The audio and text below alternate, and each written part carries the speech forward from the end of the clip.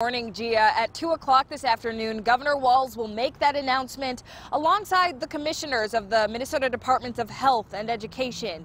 Up until this point, state leaders have instructed school districts to be prepared for three possible scenarios in person learning, distance learning, and a combination of the two.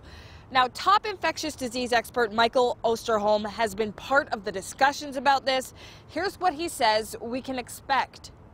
I think that there are surely districts in Minnesota that could start school in late August. Now, I'm saying that today in July, four to six weeks from now may be a different world.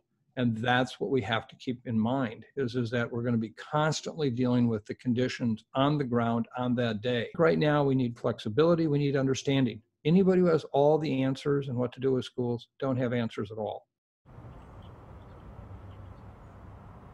So many opinions about this, and rightfully so. Coming up next half hour, one mom shares her perspective and the plan she has for her family despite what is announced this afternoon. Gia? Yeah, Kai, we'll check back with you later on that. Flexibility and understanding. Thank you.